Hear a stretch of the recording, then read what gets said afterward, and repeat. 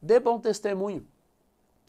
Mostre para as pessoas que o evangelho te tornou uma pessoa melhor, para elas verem que vale a pena estar no evangelho. Porque se você vive o evangelho, se tornou católico, deixou o mundo, mas você também não adquire virtudes, as pessoas olham para a sua vida e dizem: ah, o que, que adianta? Largou o bar, largou a promiscuidade, largou essa seita aqui, essa religião que ela frequentava, mas continua aí, ó, não fala com a gente, não cumprimenta, é uma pessoa mal-humorada, carrancuda, é soberba, é arrogante, é intransigente, não conversa com ninguém, não cumprimenta ninguém, é, não é uma pessoa afável, não é agradável, a gente nem quer estar com ela, ela é chata, ela é habitolada, ela...